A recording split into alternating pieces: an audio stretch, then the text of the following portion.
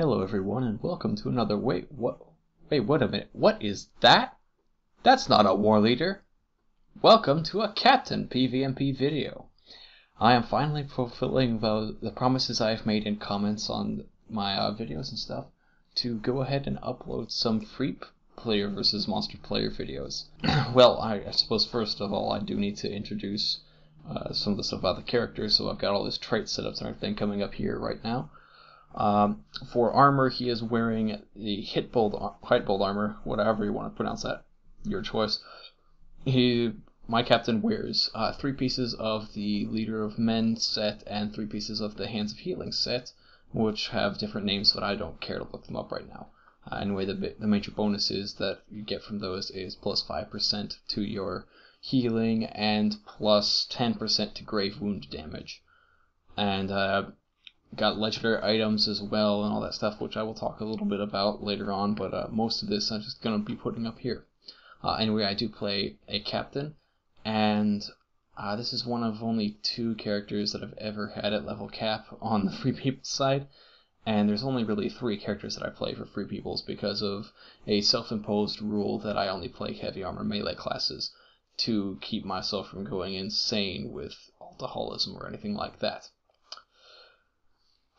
Anyway, uh, this captain, I took him out to the Ettenmoors for soloing as soon as he got his armor sets completed.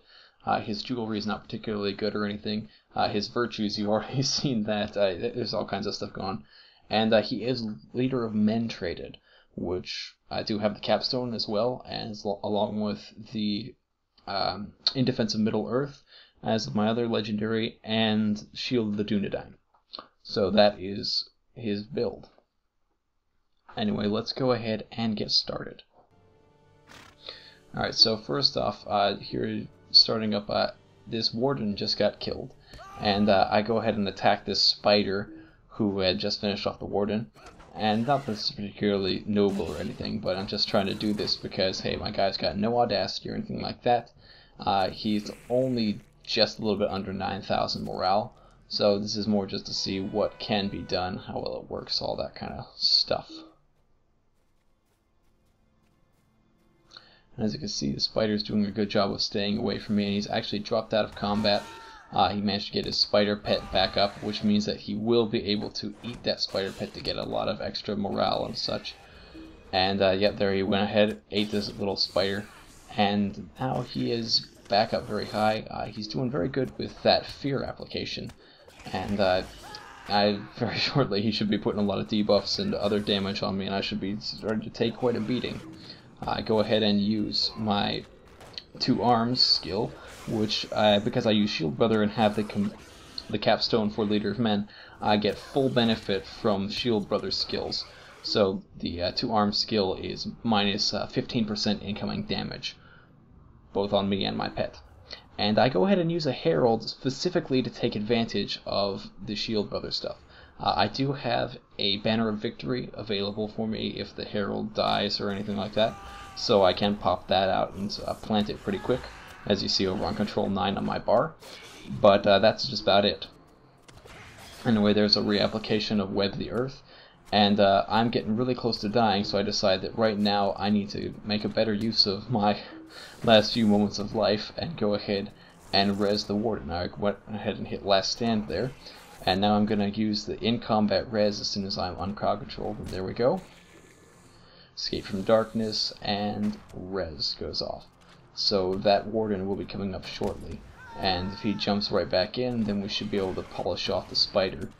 Or even if I go down, he should be able to polish off the spider, because the spider is pretty weak. Went ahead and hit Shield of the Dunedain just to make sure that he wouldn't get killed, and I'm dead. And uh, the warden stands there for a little while, but then he does eventually finish off the spider. But uh, I get no credit for anything from it. Anyway, uh, next up is uh, Inquisitor, who, yes, that is a rank 13 Black Arrow who I have foolishly challenged. Uh, I go ahead and just go on to the attack because I figure, hey, I'm out here to get rank 4. That is my goal. I want to get that fast map, and that's really all I'm here for with this guy. And to fulfill those promises I made about actually putting free peoples on to my channel. Um, I don't really think there's any way I'm going to win this particular fight, but hey, I might as well give it a good shot, and at least it'll be something against Black Arrows. Now, uh, one thing that I should be doing is I should be potting some of the wound effects that are getting dropped on me, but I don't. So that allows me allows him to do a lot more damage than uh, I should let him do, and uh, put other status effects and everything. And uh, as you can see, you know, Skirmish Stance Black Arrow is very, very effective against a melee class when they can keep that slow up and keep on kiting you and shooting you. And uh, he goes ahead and blows me up before I can even uh, try to do anything to survive that. Uh, next up is Jerda, which uh, Jerda was actually the first one I ran into, but uh, he is a, war leader and he's only rank 1. And I, I, started recording and chasing after him, not realizing that, oh yeah, on Free People's side I have to use those horses to get anywhere. And uh, is coming right back down, so I go ahead and engage. And uh, he doesn't even seem to try to attack, he turns right back around and starts going up the hill. Uh, this is wrong and bad for multiple reasons. Number one, he's running away and not trying to fight. Uh, that's just going to lead to trouble. Number two, he's running the wrong way.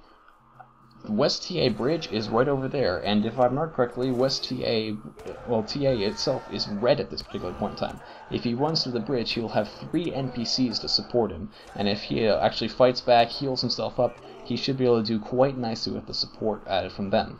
Uh, if you the other thing is that he's giving me his back uh, completely here, allowing me to just wail on him. And uh, this is, it just kind of shows, even for a class like the Captain, who doesn't have a whole lot in the way of crowd control, in the way of uh, slows and stuff like that, he can still be very effective against a foe that just runs away, doesn't fight back, and gives you positional uh, advantages, like uh, a bare back so that you can't block, parry, and evade the attacks. Well, you can evade, but can't block and parry. Uh, next up is Nungursh, which uh, I find near Hoar Hollow. He is a rank 7 war leader. And so I go ahead and engage. Uh, the only thing is he is a little lower on power. Uh, the other thing to note for this particular fight is that the monsters have four outposts for this. Now, uh, one thing about uh, these fights that I'm going to mention right now is that when you see my, my cloak is white in this video, it means that I have a uh, legendary item, my class item, that has no legendary points spent on it. It is at max level, and I haven't bothered to spend any points. I forgot that it had been reforged or any of that stuff. So, uh, not only do I have the outpost going against me, but the legendary item boost stuff is also not available, not being used properly. So uh, my character is even more gimped than he otherwise would be, even for not having audacity and all that stuff. Uh, as you can see, this means that I am taking quite a beating. The other big thing is that I am not using uh, my Inspire skill as much as I should be. I should have hit that far earlier. I'm only just now hitting that. Uh, I should also be hitting the um, that one skill whose name escapes me, uh, but that that's also a self heal, and uh, I'm not. I'm trying to go for last stand, but I get killed instead. So that was uh, all just using the wrong skills, not having my guy ready to go or any of that. So I come back here, um, and as you can see, there's a message about Sarok defeating Hoar Hollow Farmer. So I'm looking for Sarok, who is another warrior and one actually know. As you can see, my cloak is now dyed black, so I have corrected the problem with my legendary item. And uh, this is actually day two that I've had my armor set and come out looking for trouble when the get mores like this. And uh, hopefully I will find Sarok very soon, which there we go, I spot Sarok. Sarok is also a rank 7 war leader. And uh, this should hopefully go a little bit better for me. Uh, just finished off that Hobbit, and I uh, move into engage. Sark pull, is pulling back a little ways, which uh, is smart, and I'm perfectly happy with, uh, just to keep away from potentially spawning hobbits and their bows and stuns and disarms and stuff. Uh, go ahead and attack there. I use the combination of the uh, AoE attack with the two swings and kick because not only does it cut through the animation, allow me to get a little spike of damage, but being leader of men traded, my kick has a 10% chance to conjunction stun the target, so it's always a good idea to go ahead and use that whenever I can, just to try to give myself uh, an extra crowd control. Uh, another nice thing about being leader of men capstoned is that, as you've noticed, I have routing cry available whenever I want to, and with the trait for stun on routing cry, that means that I get to have a stun on demand, which is something captains don't typically have, but I find incredibly helpful. Now the other thing that I'm doing really well here is I'm much more disciplined about using Inspire every chance I get. Uh, it also helps that in this particular instance, the War Leader does not have access to four outposts, only three. I actually have one of the outposts boosting myself, and which you know you can see how much of a difference that makes as well. Just not having as much of a damage deficit to worry about. So not as much incoming damage and better healing coming back out uh, because of the boost to tactical mastery. I went ahead and hit last stand right there, and that was good that I hit it when I did because otherwise I would have been dead right there. So now I'm just going to go ahead and attack, and I'm trying to pick which one of my defeat responses I'm going to use. I decided to go for the War Cry, which is going to be an extra 5% damage plus the 15% greater attack speed. And that applies to my Herald as well as myself. Alright, I went ahead and used Strength and Morale there to get myself some extra health and uh, keep myself alive. Inspire once again. I should be hitting the uh, the morale transfer from my Herald, which also gives actually a decent amount of power as well.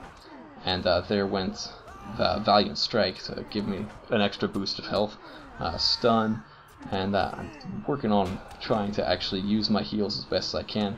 Uh, there went To Arms as well to slow down incoming damage. And come on, I should be hitting Inspire now. There we go. And uh, so you see, even with all, all the other stuff, with the other problems, if you're actually hitting your skills correctly, this whole Leader of Men build, you can actually be fairly sustainable, even with no audacity to speak of, even with multiple outposts on the other side. Uh, with more even uh, numbers of outposts, uh, with more audacity, with better gear and stuff, this could go far more favorably. And uh, even with this, I've already taken out more than half of the Warleader's health. Now I do have the advantage of that one Hobbit NPC, but even at that, I'm still doing pretty well for myself. Also, this war leader does use Shield Bash, which obviously had to be bought from the store or come from a loot box. And uh, you'll find that most war leaders will tend to use that, uh, even if they're much lower ranked, just because Shield Bash is such a useful skill for the war leader. Uh, anyway, I am very, very close to the end of my morale pool, and down I go. And uh, shortly after that, Sardark went and renamed that particular the uh, command post that Sark was using, and uh, said, "Nice, nice try, Ugh." Uh, so obviously she recognized my character, which he is my forum handle, and if you're looking, you'll notice that Ivaneus is part of my username here on YouTube as well. So uh, he's Ivan's usually the name that I go by, actually. It's only really in Lotro that Ugmog actually uh, became the guy that I'm most well known for and anything. Uh, anyway, as we can see, no real success with the captain yet. Uh, fundamentals are a little bit shaky in some areas. I, am not as good at and uh, disciplined about hitting the proper skills at the proper times, but I do have a good idea of what exactly does need to be done. And you can see that for some of the stuff, it could be a lot more effective, uh, mostly against war leaders, with uh, better gearing and audacity and uh, some other benefits to help balance the, the fight in, or swing it towards your favor. Anyway, that's all for this time. Good luck and have fun out there. Ivaneus is out.